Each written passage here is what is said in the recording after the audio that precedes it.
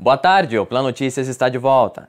Após um longo período de pausa por conta da pandemia, o xadrez gigante volta a ter as 32 peças disponibilizadas aos turistas e moradores aqui de Poços. Localizado ao lado da estação Mogiana Fepasa e da Praça do Imigrante, o ponto turístico ficou sem funcionar desde o início da pandemia e reabriu hoje.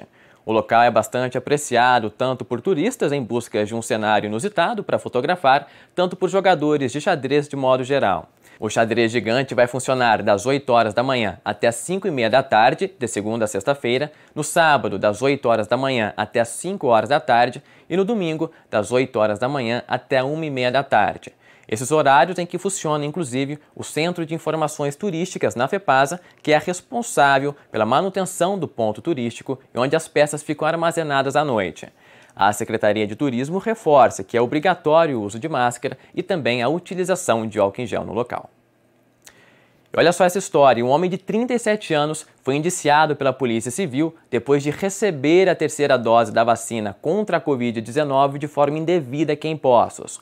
O rapaz foi indiciado por estelionato majorado, por ir contra determinações do poder público. De acordo com a Civil, as investigações sobre o caso apontaram que o homem já havia recebido as duas doses de vacina Coronavac. No entanto, o suspeito enganou servidoras de uma unidade básica de saúde e aproveitou de uma falha momentânea no sistema informatizado do registro de imunizados e recebeu a terceira dose da vacina Pfizer.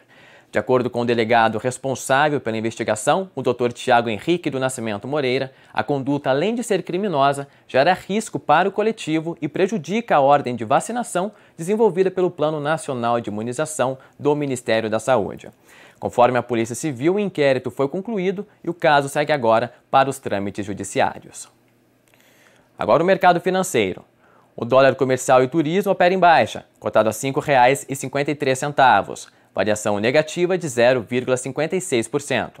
O euro também opera em baixa, cotado a R$ 6,47, variação negativa de 0,46%.